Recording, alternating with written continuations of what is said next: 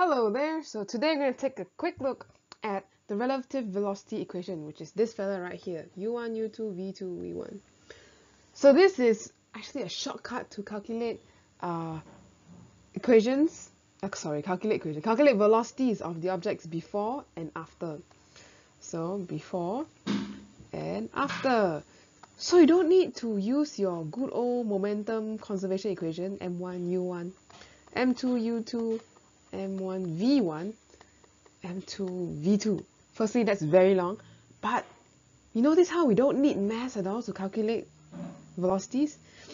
Okay so actually we don't need this one. So it's like a shortcut.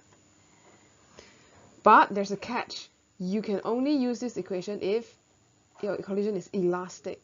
So look carefully in the question. Make sure you check is it elastic or inelastic? If they didn't say don't assume it's elastic you check with this equation or otherwise. Okay, so let's take a look at the shortcut equation, shortcut equation, uh, how we can make sense of it and where it come from. So the origin story of this. Let's take a look. Okay, so what are we actually, what does this uh, term mean, u1, u2 and all that? Basically, you're finding the approach speed before. So the approach speed we can calculate with u1 minus u2.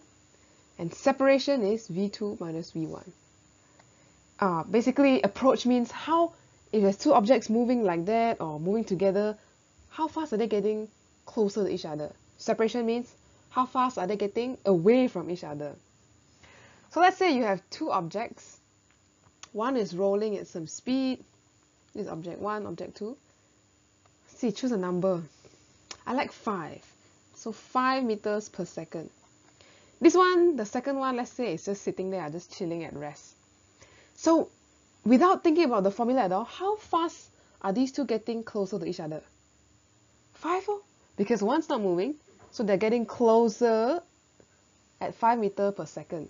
So you can say your approach speed is just 5 meters per second. Now, if you want to use the formula to calculate, basically it's u1 minus u2. So u1 will be 5 minus 0, and that is 5. They're the same thing, so you can think of it just logically, just trying to think how fast are they getting closer. But the equation u1 minus u2 is basically the same thing, just that it'll be convenient when you have negative signs later. Anyway, so these two collide, boom, explosion, and then let's say one stops moving, number one now stops moving, so v1 is 0, stops moving, and v2 goes away from v1. I'm just making up numbers. I'm I don't know if it's actually momentum conserved or not. So say it moves at 5 meters per second. So then same question. Without thinking about the maths, how fast are these two getting further away from each other? Just 5. Yep. So 5 meters per second. And if you think of the equation, you see where I'm going? V2 minus V1. V2 is to the, five, uh, to the right 5. V1 is just 0, so it's still 5. Okay, so things to note. For this system to work, everything to the right has to be positive. So to the right you have plus 5, to the right you have plus 5, and then everything to the left will be negative. Note how the speed of approach here is same as speed of separation. So this is what we call an elastic collision. This is how we can test. Okay? Elastic collision because approach at 5, separate at 5. Alright, so a simple case. What if it's something slightly different now? What if they are moving um, towards each other? One's not at rest now. Okay, so let's say they're moving at 2 meters per second. Then uh, object number 2 is moving at 3 meters per second. That's U2. Ooh, so how fast are they moving towards each other? Probably quite fast. Why? Because 2, object 2 is moving at 2 meters per second.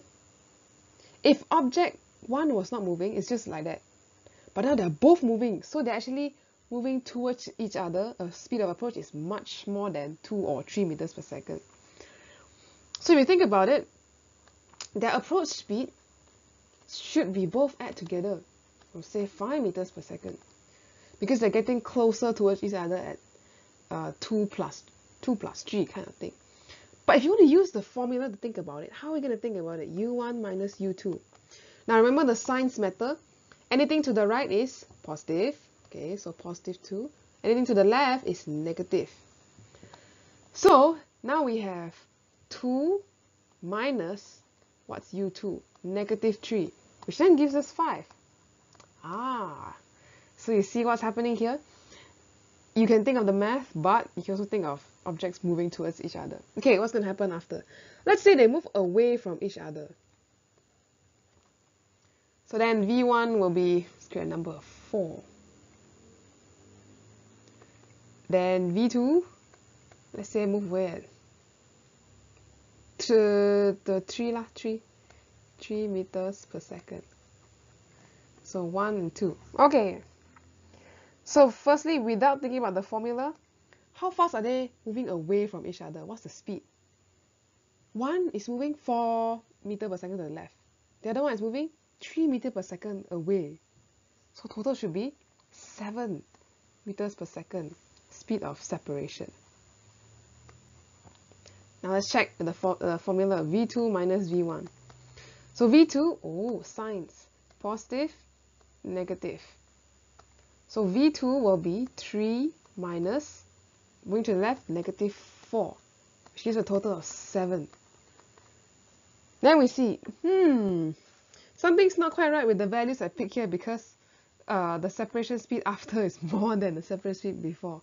So you can say it's not elastic and probably not logical as well, unless the mass suddenly changed. But you get the point.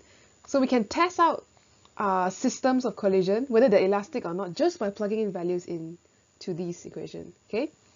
Now the last funny bit. What if you have another system of sphere? One is moving away at a speed of, to the right, at a speed of 5 meters per second.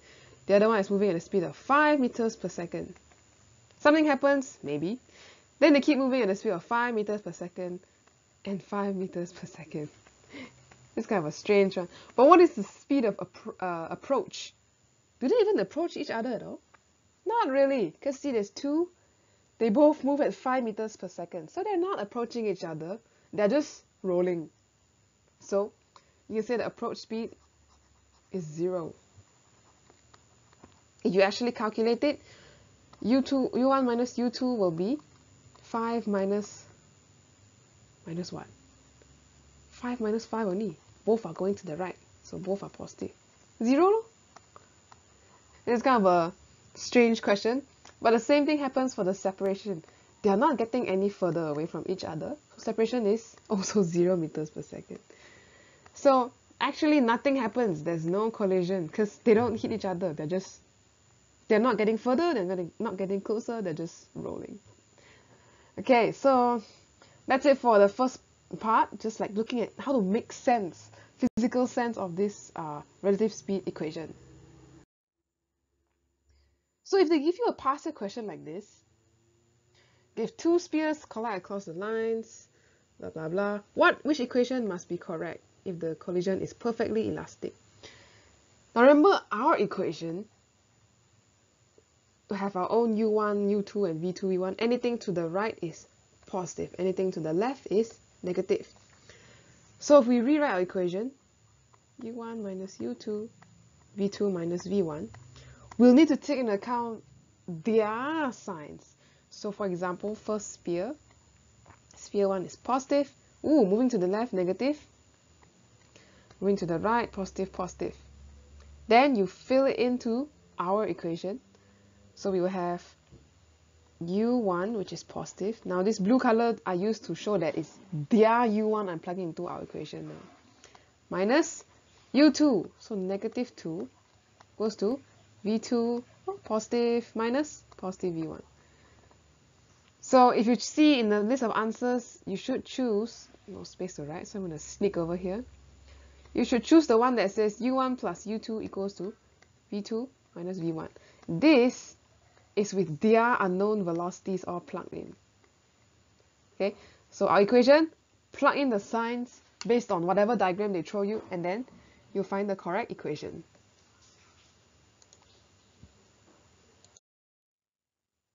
Now, some of you have been wondering, we've used this equation to test elastic collision and whatnots, but where does it actually come from? Well, I need to warn you first, please brace yourselves because there's going to be some little bit of math coming.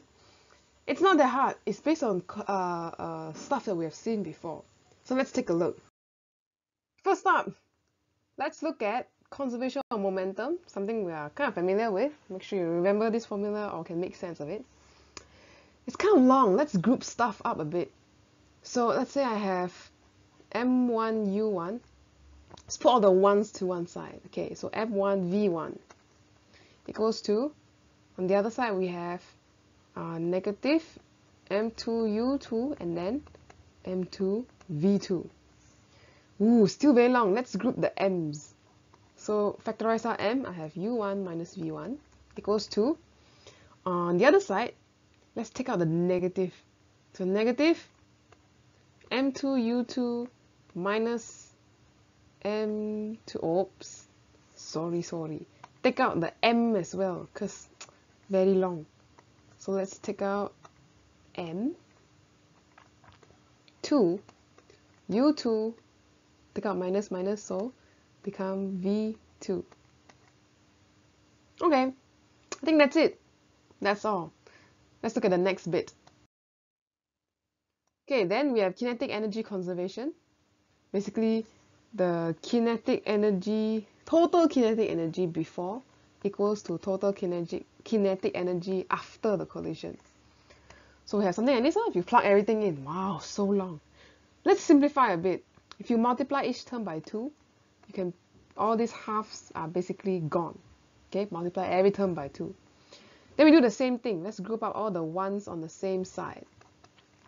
So if m1 u1 squared uh, minus m1 v1 squared equals to, on the other side, all the 2's, negative m2 u2 squared plus m2 v2 squared. Ooh, let's take out the masses, factorize a bit. So you have u 2 squared, u1 squared, sorry, minus v1 squared. On the other side, let's got a negative. Then we have u2 squared minus v2 squared. This looks very familiar from the thing just now. Hmm, now the final step. So, yeah, momentum, we found that. With kinetic energy, found that as well. Notice how similar the pattern is. So the point of this whole uh, proof is that you want to find a way to get rid of the mass. We only want to care about velocity. Very convenient, ma. And the second thing to remember is this uh, the kinetic energy formula is only for elastic because we assume no kinetic energy is lost. So you can use the half mv square to calculate the total kinetic energy. So let's see, what we can do is we divide momentum by kinetic energy. So that's like um, writing out, find equation 1 divided by 2. So this is 1 lah, 1 divided by 2. What do we get? Let's write it out. So we have m1 u1 minus v1 equal over something equals to on the right side m2 u2 minus v2 and the bottom is all the kinetic energy terms. So we have m1 u1 minus v1 then negative m2 u2 squared minus v2 squared. Nice! Look how we can just cancel out the masses now. M1 over m1 is gone. Negative m2 over negative m2 is gone. All that's left is this beautiful stuff down there to rearrange. Okay, now let's rearrange it. Alright, so rewrite a bit one more time in blue. u1 minus v1 over stuff u2 minus v2 over stuff. Now think about how the bottom term can be split up into two brackets. factorize. Just to use a bit of, remember a bit of maths from uh, IG or SPM. So let's see. 2 bracket multiply, what do you get? What, what, what, what, what 2 do you have to multiply to get u1 squared minus v1 squared? Ding, ding, ding, ding, back, time lapse, time zoom. Oh, yes. So you can, if you think a bit of your quadratic equations and those kind of stuff. So if you multiply u1 plus v1 and u1 minus v1, you would get, uh, you open the bracket, you will get u1 squared minus v1 squared. So you can do the reversal. From one bracket split become two. Same thing on the right side. If you uh, factorize it, you get u2 plus v2 times u2 minus v2. Looks like we can cancel more stuff out. Okay, so remember the top part also is in a bracket. So u1 v1 is cancelled out, u2 v2 is also cancelled out. Hmm. So what's left? Let's take a look. Dun, dun, dun, last bit. Go to the right side. Everything cancels out. What is left is the two terms at the bottom. This fella and this fella left. Huh. That looks interesting. So what we have left is just u1 plus v1 equals to u2 plus v2. Mm, that looks kind of like our relative speed equation, but not quite yet. It has minus. So now we move all the u's together. So we have u1 minus u2 equals to v2 minus v1. Ta-da! So that's your relative speed equation that we have been looking at. So remember, it comes from conservation of momentum and kinetic energy with the condition that it has to be elastic. Then you divide both to get rid of the mass. I should make a note here. We divide to rid mass because it would be convenient if we didn't have to use mass to calculate. And then in the end, we get that uh, relative velocity equation. So that's the origin story for today, where this came from, how to make sense of it. Hopefully that was helpful.